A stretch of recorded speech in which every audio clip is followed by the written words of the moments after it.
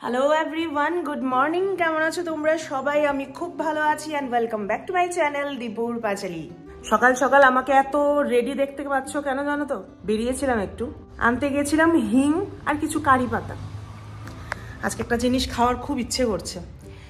Literally আমি এই কারি পাতা আর হিং আনতে মোটামুটি সাড়ে তিন কিলোমিটার হেঁটে ফেলেছি। আমি যে সবসময় যে রাস্তা দিয়ে আমি হাঁটতে যাই, সেই রাস্তা দিয়ে আমি অন্য সময় যাওয়ার সময় প্রচুর দেখি। প্রত্যেকটা মানুষের বাড়ির মানে ওয়ালের রাস্তার পাশে, ওয়ালের পাশাপাশি মানে এভাবে হেলে আছে, দুলে আছে মানে কেউ ইউজ করে না, কেউ খায়ও না এখানকার মানুষেরা বেশি কারি পাতা। কিন্তু প্রত্যেকজনের বাড়িতে কারি পাতা আছে। আজকে আমি লিটারেলি সাড়ে তিন কিলোমিটার হাঁটলাম। একটা কারি পাতার গাছ যদি আমি আগে যা আমি দেখতে পেয়েছিলাম, তা যদি আমি দেখতে পেতাম। অ্যাকচুয়ালি দোষটা আমার না, আমার নাকটা প্রচণ্ড কুচ কুচ কুচ কুচ করছে, মা। শীত গেছে তো, এখন মাত্র বসন্ত এলো, আস্তে আস্তে গরমকাল আসবে, গ্রীষ্মকাল আসবে, তো প্রত্যেক গাছের মধ্যে নতুন নতুন পাতা গজাচ্ছে। আমি যে এরিয়াটাতে থাকি, ওয়েস্ট জ্যোতিনগর বলে এটাকে, পুরো ওয়েস্ট জ্যোতিনগরের মধ্যে যদি দুশোটা বাড়ি থাকে, দুশোটার মধ্যে মিনিমাম একশো আশি কি একশো সত্তরটার বাড়ি মানে একশো সত্তরটা বাড়িতে কনস্ট্রাকশনের কাজ চলছে। আর অবভিয়াসলি কনস্ট্রাকশনের কাজ চললে বাড়ি ঘরের গাছ টাছ সব মরে যায়। তো এমনই সিচুয়েশন আমি সাড়ে তিন কিলোমিটার খুঁজে আমি এইটুকুখানি আমি একটু কারি পাতা জোগাড় করতে পেরেছি। আর হিং, ওফ! এখানকার মানুষেরা হিং খায় না। আমি এই সাড়ে তিন কিলোমিটারের মধ্যে মিনিমাম দশটার থেকে বারোটা দোকান মানে ভালো ভালো বড় বড় দোকান এমন দোকানে আমি সার্চ করেছি, ওরা সবাই বলে যে আমরা রাখি না, আমাদের বিক্রি হয় না, এখানকার মানুষ খায় না, হিং, তো পাওয়া যায় না। লাস্ট অব্দি বাড়ির পাশেই একটা মানে দোকানে লাকিলি আমি পেয়ে গেছি। তো যাই হোক, এটা তো হলোই। এখন আমার ইচ্ছে করছে একটু খেতে, তো এখন কি করব? ইচ্ছে যখন করেছে আমার অ্যারেঞ্জ করতেই লাগবে। তো আমার একটু হিঙের দরকার ছিল, একটু কারি পাতার দরকার ছিল। এখন তোমরা বলবে যে আমি খাব কি? এত যে খাওয়া খাওয়ার কথা বলছো, তো খাবোটা কি? সকাল, কালকের সকালবেলা না অ্যাকচুয়ালি কালকের রাত থেকে না আমার মাথায় ঘুরছে, আমি পোঙ্গল খাব পোঙ্গল খাব পোঙ্গল খাব। যারা পোঙ্গল চিনো না, তাদেরকে, তাদের জন্যই বলে দিচ্ছি, পোঙ্গল সাউথ ইন্ডিয়াতে মানে একটা ফেমাস একটা ডিশ পোঙ্গল ওদের একটা ফেস্টিভ্যালের নামও আছে। একটা ফেস্টিভ্যালের নাম একটা ডিশের নাম, পোঙ্গল। আমি যখন নতুন নতুন গুহাটিতে গুয়াহাটিতে এসেছিলাম, তখন ওদের একটা দোসা, একটা প্ল্যাটার আসতো। একটা দোসা, একটা এই বড় একটা ইডলি, এই বড় একটা ইয়ে কি বলে ভাড়া তারপরে একটা কৌটোর মধ্যে সাম্বার রেড চাটনি, তারপরে মানে বাদামের চাটনি, নারকেলের চাটনি, এসব দিয়ে এটার সাথে একটা হালুয়া যে কোনো কিছুর হালুয়া মাঝে মাঝে গাজরের হালুয়া থাকতো, মাঝে মাঝে সুজির হালুয়া থাকতো, আর এটার সাথে থাকতো পোঙ্গল। ও মা, আমি পোঙ্গল খেয়ে এমন আমার মাথা নষ্ট হয়েছে। আমি অনেকদিন ধরে ভাবছি যে পোঙ্গল খাব পোঙ্গল খাব পোঙ্গল খাব। তো চলো আজকে পোঙ্গলই বানাবো, আজকে ব্রেকফাস্ট বলেছি গুড মর্নিং ঠিকই বাট আপাতত এখন অলমোস্ট বারোটা বাজে। আর বাই দ্য ওয়ে সৌম্য বাড়িতে নেই। আমি আবার অ্যাজ ইউজুয়াল একা। আজকে, কালকে, পরশু পরশু অ্যাকচুয়ালি সারাদিন থাকব মানে একা থাকব। দেন রাত্রেবেলাও চলেই আসছে। তো now I am making pongal for breakfast এই যে অনেক ঘোরাঘুরি করে, এই যে আমার কারি পাতার অবস্থা। দেখেছ, একদম ছোট ছোট পাতায় ইয়ে তো নতুন নতুন আসছে, গজাচ্ছে, তাই ছোট পাতা। আর আমার খুঁজতে প্রচণ্ড কষ্ট হয়েছে পাতা। দেখিয়ে দিই এই যে কাজু লাগবে। আমি কালকে গিয়ে কাজু কিনে এনেছি। এই যে হিং তো মাস্ট হিং ছাড়া পোঙ্গল হয়ই না। ফার্স্টে আমি কোয়ান্টিটি বলে দিই তোমাদের। পোঙ্গল বেসিক্যালি মুগ ডাল আর চাল দিয়ে তৈরি হয়। তো আমি তো একজন।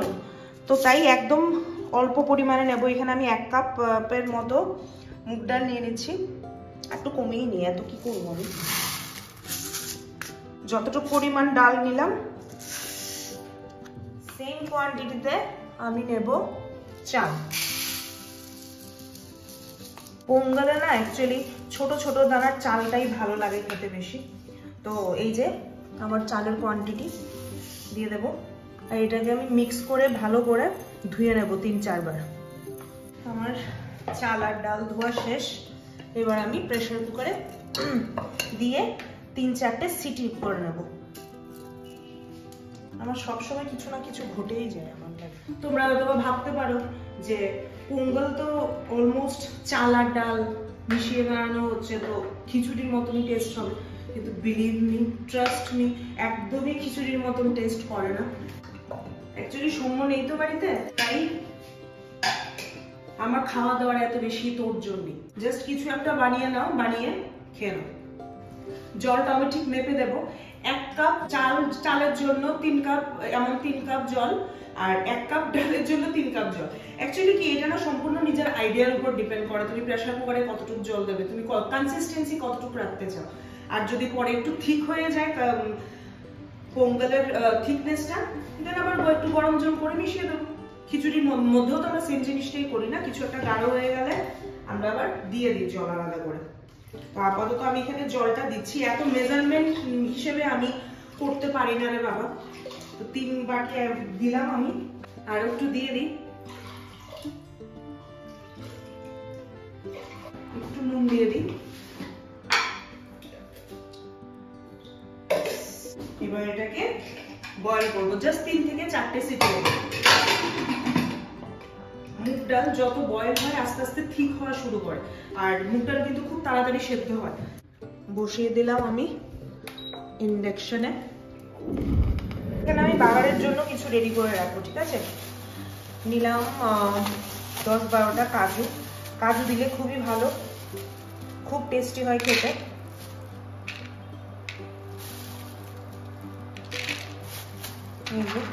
কয়েকটা কাজু দেব। এই যে আমার মশলার পিঠারা, তোমাদেরকে কিন্তু অনেক আগে দেখিয়েছি, আমার কাছে আমার একটা স্পাইস বক্স আছে। সুন্দর না? খুব সুন্দর। তো যাই হোক, এখান থেকে আমি নিচ্ছি দু তিনটে এলাচ। এলাচ ছাড়া তো হবে না। গোলমরিচ, আস্ত গোলমরিচ লাগবে মোটামুটি দশ বারোটা। পোঙ্গলের মধ্যে সব থেকে টেস্ট এই গোলমরিচটা দিয়েই আসে। মুখে পড়লে কিন্তু প্রচণ্ড বাজে লাগে, ঠিকই বাট এমনিতে যখনই ফ্লেভারটা তেলের ঘিয়ের সাথে মিশে আসে না, তখন অন্য রকমের, অন্য লেভেলের একটা টেস্ট চলে আসে। এই যে, হয়ে গেল গোলমরিচ। দেন আমার লাগবে সিনেমান বেশি না, সামান্য একটু। আউচ এই যে, এই দুটুকুই নেব। এই যে আমার, অনেক সাড়ে তিন কিলোমিটার খুঁজে আনা কারি পাতা, কারি পাতাগুলো দেব। কষ্টের জিনিস কিন্তু খেতে মজা, বলো? অনেক কষ্ট করে হেঁটে হেঁটে খুঁজে খুঁজে বাড়ি থেকে, অন্যের বাড়ি থেকে নিয়ে এসছি।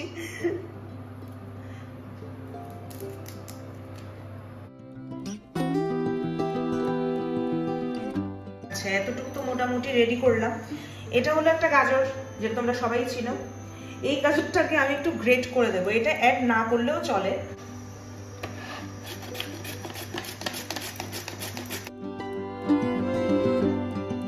আমার গাজর গ্রেট করা হয়ে গেছে। গাজরটার পাশে আমি একটু আদাও গ্রেট করে নেব। সামান্য একটু আদা লাগবে আমার। একদম সামান্য থেকে সামান্যতর। কারণ আমার একার জন্য আমি বানাচ্ছি কোয়ান্টিটি একদমই কম। এই যে, হয়ে যাবে। এতটুকু এতটুকু হয়ে যাবে।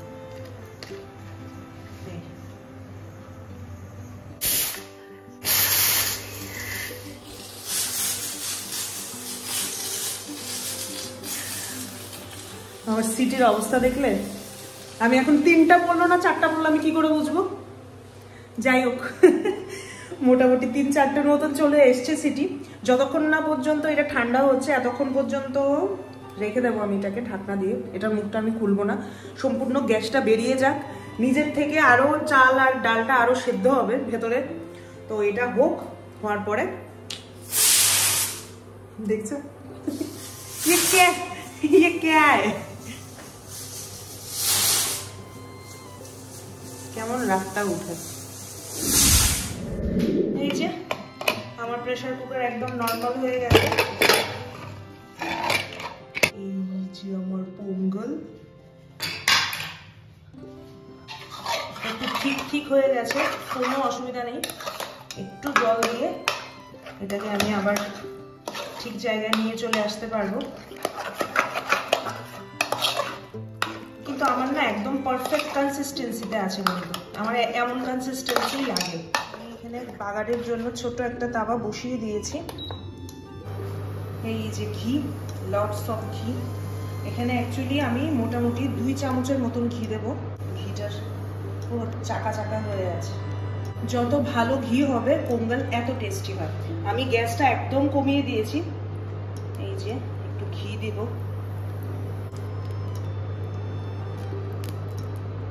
দিলাম, কাঁচা লঙ্কা। এখানে ছিল কাজু, তারপর গোটা এলাচ, গোটা দারচিনি আর গোলমরিচ। আমি এখানে একটু শাহি জিরা দেবো। যাদের কাছে নর্মাল জিরে আছে, ওরা নর্মাল জিরে দিতে পারে, অসুবিধা নেই। আমার কাছে ছিল, তাই আমি দিলাম। আর এই কাঁচা লঙ্কা, গোলমরিচ আর এই কাজু বাদামটা ভালো করে একটু লাল লাল করে নেব। একটা ভালো গন্ধ বেরিয়েছে তোমাদেরকে তো আমি ক্যামেরায় বোঝাতে পারছি না। খুব ভালো গন্ধ বেরিয়েছে। অ্যাকচুয়ালি খুব অল্প সময়ে না এটা খুব তাড়াতাড়ি হয়ে যায়। খুবই তাড়াতাড়ি হয়। আমি একটু আদা চপ করেছিলাম, আদাগুলো দিয়ে দেবো। সামান্য একটু হিং দেবো, একদম সামান্য। হিং ছাড়া হয়ও না, হিং বেশি পড়লে আবার খেতেও ভালো লাগে না। এই যে, দিয়ে দিচ্ছি কিছু শুকনো লঙ্কা। সামান্য একটু উড়দ ডাল দেব। উড়দ ডাল মানে যে ডালটা দিয়ে দোসা বানানো হয়, একদম সামান্য একটু দেব। তারপর দেব চানা ডাল। এগুলো বাগারের সময় দিলে টেস্টি হয়। না দিলেও চলে বাট দিলে টেস্টি হয়। এদিকে এগুলো ভাজা হতে থাক। এই পাশে আমি দিয়ে দিচ্ছি গ্রেট করে রাখা গাজরগুলো। গাজরটা একদমই অপশনাল বাট দিলে আমি দিলাম। আমার কাছে ছিল, তাই আমি দিলাম। Last but not the least curry পাতা। আমি গ্যাস অফ করে দিলাম। যে, আমি এটাতে একটু সামান্য জল মিশিয়ে আর একটু পাতলা করে নিয়েছি। এবার আমি সম্পূর্ণ বাগারটা ঢেলে দেবো এখানে।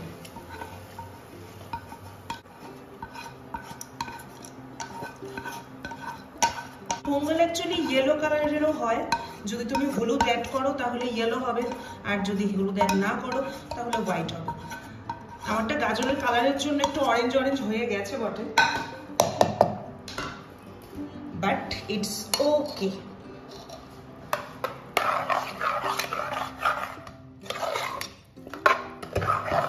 হ্যাঁ স্মেল বেরিয়েছে? সত্যি কি স্মেল বেরিয়েছে? একটু সাদা সাদা বানিয়েছি, উপর দিয়ে একটু হালকা ঘি ছড়িয়ে দেব। এটাতে সম্পূর্ণ ঘিয়ের খেলা, আর কিছুই না।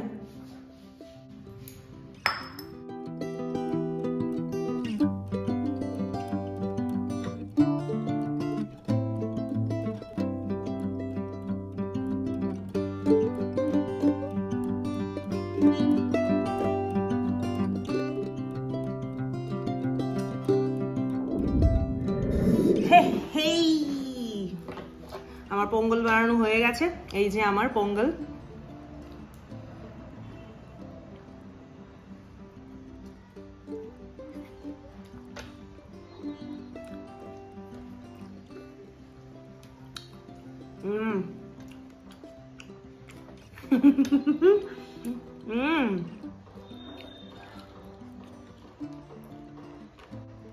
প্রত্যেকটা বাইটে না কাজু, উড়দ ডাল, চানা ডাল। মাঝে মাঝে বিরক্তিকর ওই কালো গোলমরিচগুলিও পড়ছে। এটা কিন্তু খুব ভালো ফ্লেভার দেয়। মুখের মধ্যে একটা সুইটনেস মানে হালকা একটু সুইটনেস আর যখন গলা দিয়ে নামে এটা হালকা জলে ওই গোলমরিচটার জন্য। বাট এটা জলাটা একদমই মাইল্ড একদমই mild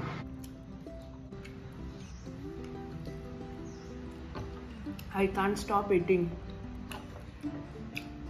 তো চলো, আমার ব্রাঞ্চ তো খুব ভালো হয়েছে। এটাই আমার সকালের খাবার ছিল, এটাই আমার দুপুরের খাবারই। এখন একটু খাব, দুপুরবেলা একটু খাব। রাতে দেখি অন্য কিছু যদি বানানো যায়। আর যদি না বানানো যায়, এটা দিয়ে আমি আজকে সারাদিন চালিয়ে দেব। আমার পোঙ্গল এতটাই ভালো লাগে, বুঝতেই তো পারছ।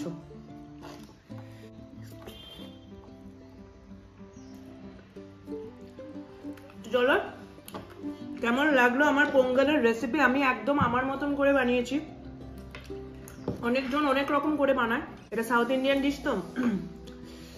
ওখানকার মানুষেরা ওই গোলমরিচগুলিকে চিবিয়ে চিবিয়ে খেয়ে নেয়।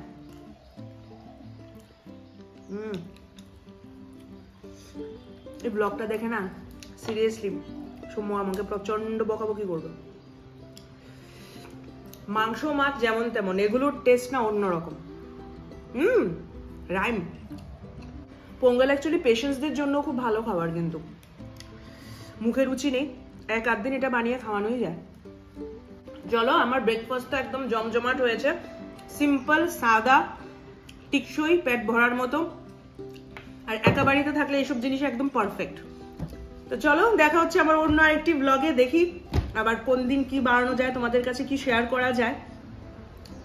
টাটা বাই বাই দেখা হচ্ছে নেক্সট ব্লগে this is very tasty please একবার ট্রাই করো। নিজেদের কাছে যদি রেসিপি থাকে নিজেরা নিজেরা ট্রাই করো। আর যদি রেসিপি না থাকে আমারটা দেখে একদম আমার স্টাইলের রেসিপিটা গিয়ে করো। আর না হলে তো ইউটিউবে প্রচুর আইডিয়া আছে। সেখান থেকে নিতেই পারো।